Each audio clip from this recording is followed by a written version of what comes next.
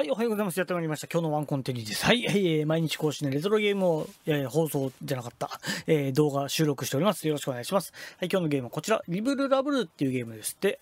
どうなんでしょうね。これ、リブルラブルはキャラクターがいるんでしょうかね。元々のオリジナルの。えー、とか、カセットはこんな感じですよと。まあ、いそうな感じのカセットの感じをしておりますけど。どうでしょうね。私は見たことはないと思われるよ。これも海外のなんかキャラクターなのかなそれがナムコのオリジナルのキャラクターなのかな？どうでしょうねといった感じで、まあ、とりあえず、えー、見ての通り全くわからない状態ですけど、やっていきましょう。はい、今日のワンコンテ基本的、今日のワンコンテニュー、基本的には、1回ゲームオーバーするまでに、どんな感じのゲームかっていうのを体験したり紹介したりができたらいいなっていう感じでやっております。よろしくお願いします。まあ、知らないゲームを紹介つったってっていう話だけどね。まあまあまあ。こんなゲームあったんだねっていうのをみんなで見ていこうかみたいな、そんな感じではありますね。あ、1983って書いてある。ってことは、もしかすると、もともとあった、その、1画面ゲームみたいな、セイさんとクロスというデプ、デ、デ、ド、デ、デ、デ、ド、デ、デ、ド、ダッ、ダッ、なんかいましたって。村人おりましてん。えー、キノコ狩りにも行ってみるべや、と。はい。よっよっさこらさ。いつもの森に出かけよった。昔話っぽいですね。海外の感じの昔話っぽいですね。なんだ不思議生物。びっくら仰天。キノコに足生えてるわ。なんか不思議生物がいるわ。うん。キノコに足が生え？そしてその不思議生物は何？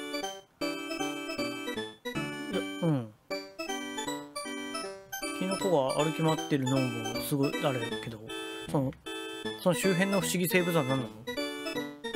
どうなっちゃうんけ？ホブリンが、ま、魔法をかけ、えー、魔法の国に連れ去ろうとしてるんじゃ。ホブリンっていうキャラクターがいるんですね。あ何それ？これはいけんリブルラブルの力を借りにはあんめさせせいさんなんだあれは？ナギンドバ、バシ、バ、バシシシ、年があれちょっと、全然、全然ちょっと、もうちょっと方言を手加減してほしいな。大事なキノコのためじゃけん。どこの漢字なの？この、この漢字。バシシってないんよ。リブルラブルでバシシってないんよ。知らない言葉と知らない言葉を組み合わせるだろ。わからんわ。バシシくたばれホブリン。だからリブルラブルでバシシするとホブリンがくたばるんですね。バシシって何？まあぶっ飛ばす。でも囲ってるね、なんか。いや、で、囲ったところは土が荒れてるっていうのはそんな感じか。二人が調子よくバシしてると土地が赤く光るところがありよった。物語を見つつそのゲームのシステムを理解しつつみたいな。赤く光りよったけどこれは一体なんだべ？ん？お告げにちげえねえなんだ？ワープゾーン的な？と言ってバシシの範囲を狭めていく。ははは。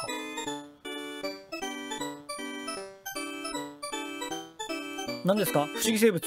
また、また出た不思議生物。ここれらはですね。何？財宝っぽいものが見える。宝箱っぽいものが見える。えー、宝箱と妖精が6人飛び出した。ついでにガーゴルも出よった。ガーゴル？ありゃ、飛ぶカプダッピー。また、また知らない言葉できた。ガーブルもだけど。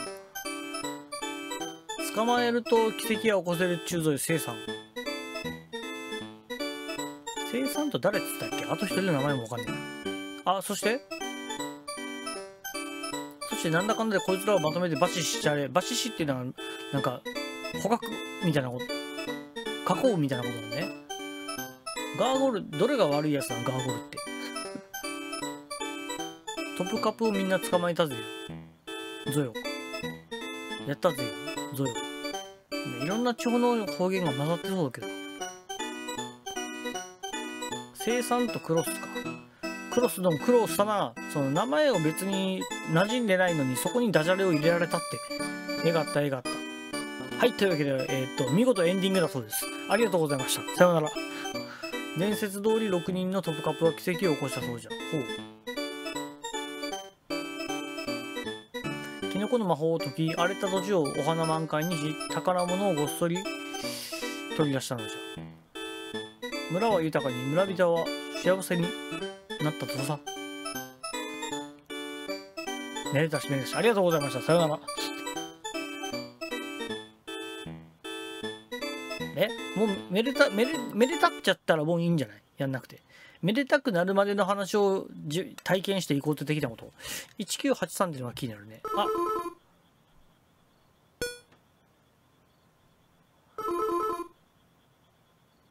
囲む囲むゲームっぽいですね。どうどう操作どう操作するんだろう。110ポイント。あの囲ったエリアはもう囲え囲え直せないみたいな。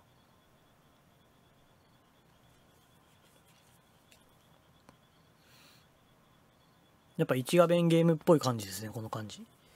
元のゲームがあるんだろうな。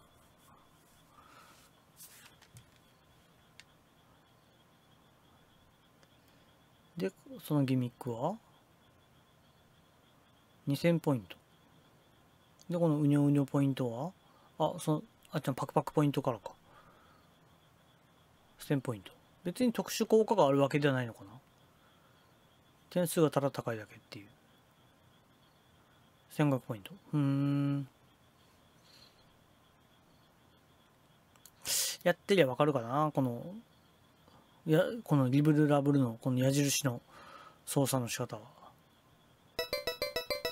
光った時中に宝物。え？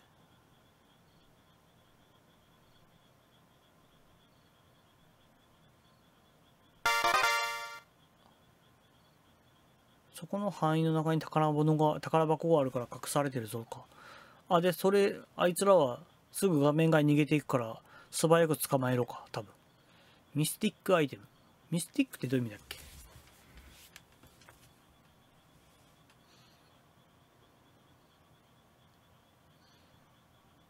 ですって。やっていきましょうかじゃあ。えー、ノーマルモード。なん DIPS わからんな。サウンドテスト。まあノーマルモードで。物を囲め。えっとね左十字キーで赤を動かしてえっ、と ABXY であのあれを青を動かす。どうだ？チュートリアルからっぽいね。えー、ちょっとこれ。何がや？何がいいな？え？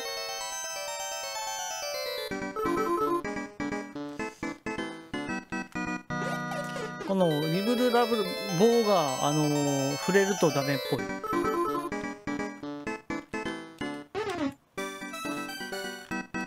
いやこれ絶これ操作方法やば。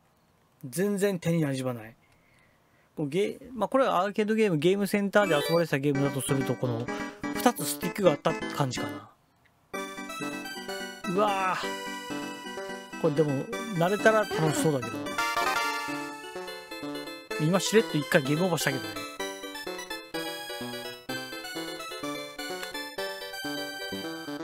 あでこの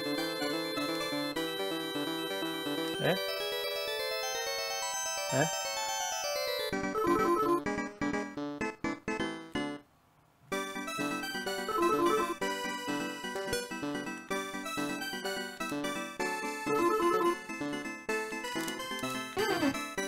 どデビュー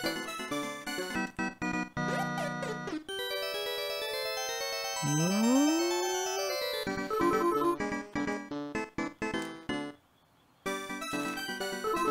ん。どうだ？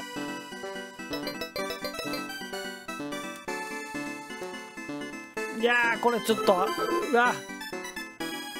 ちょ分かんなくなる。右左が分かんなくなる。ちょ右左が分かんない。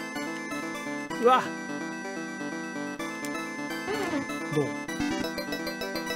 うこのデビル的なやつは何だ？てってれて